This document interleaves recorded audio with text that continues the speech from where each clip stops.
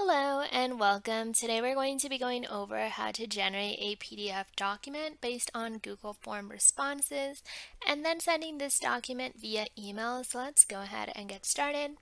The first step with any Zenphi flow is to set up your trigger. In this case, we're going to be using the Google Form response trigger. In Zenphi, a trigger is basically the action that's going to be in charge of initiating the whole workflow process. So in this case, every time a Google form response is submitted, it's going to go through the entire flow. So if we click on the icon here, we'll be able to set up the connection so that we can choose which Google form it's going to take into account for our flow.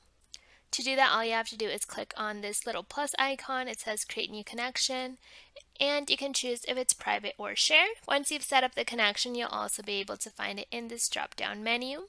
Then click on this Google Drive icon to be able to choose which Google form you will be using. All you have to do is click on the form and then click select. Down at the bottom, you'll be able to look at the form controls from your Google Form sheet. Now let's go over the Google form that we'll be using as well as a template that we'll be using as well. This is the Google form that I have created. It has a couple questions like their first name, last name, their job title, their compensation, and their start date. Now, if you wish to send the final document to the person who submitted the form, make sure you are changing the settings in your Google form to make sure it's automatically collecting the email of any person who responds the form. Now we'll also need to create this template. This is basically the PDF that we're going to be sending, so make sure you edit it in whatever way you wish for the person to receive it. So change the font, the font size, if it's in bold, Make it look exactly how you want the other person to receive it, so you can add any images if needed. As seen here, we have certain words in between two curly brackets. What this is going to do is indicate the placeholders, meaning whatever is between those two brackets will be able to be replaced with information from the form. So in this case here, I put a place to be able to replace their first name and last name, the start date, and their job title. So wherever you wish to replace information, make sure to use those two curly brackets so that Zenphi knows exactly where it's going to be placing certain information. Now going back to our flow, the first action that I'm using is called generate document using template. As we can see from the title I gave it, this is going to be in charge of filling out the template that I just showed you on Google Docs. So all you have to do is again set up the connection to your Google Docs. Then all you have to do is select which file you're going to be using. So if you click on the Google Drive icon, you'll be able to see all your Google Docs. Just choose which one you wish to use and click select. Then you'll be able to choose which folder you're going to be saving in and the name of the document. So as you can see here, I have the name of the file as onboarding letter, first name and last name. That way it's more personalized. How you can do that is by using the token picker. The token picker allows you to insert data from previous steps, in this case from the Google form. So if you open this up, you can use any of this information wherever you see this little icon. So in this case, if you wish to put their job title or the start name, all you have to do is click add token and it will be added.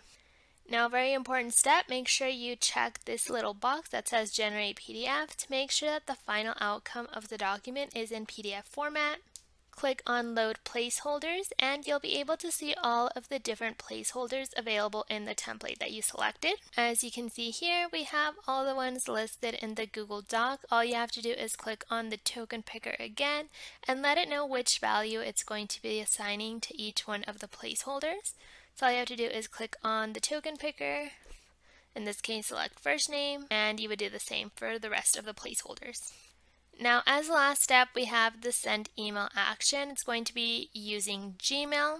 So again, set up the connection using the little plus icon. And here you're going to be selecting who the email will be going to. In this case, since we did collect the email in the Google form, all you have to do is click on the token picker and select initiator email. This is going to make sure that the person who submitted the response gets the PDF document. And again, you can edit the subject and the body in whichever way you wish. You can add different tokens, you can add text in bold, change the font size, the font type, and lastly, all you have to do is click on the token picker and make sure you add the document in PDF, which will appear right here. So let's go ahead and do an example. And I'm going to go ahead and test run. So select a form to start. We're going to choose this one and click start. Here it's filling out the template. And it has sent the email. So let me go ahead and open up my email. And here we have the document. As we can see, it has the text that we had assigned in the subject and in the body.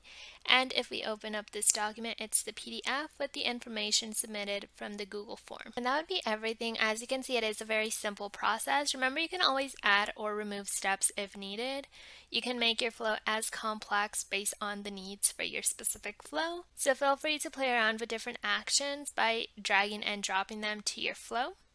And remember, you can always find more tutorials for different use cases on our YouTube channel, so check that out if you're interested in learning how to automate different processes. Thank you so much for watching.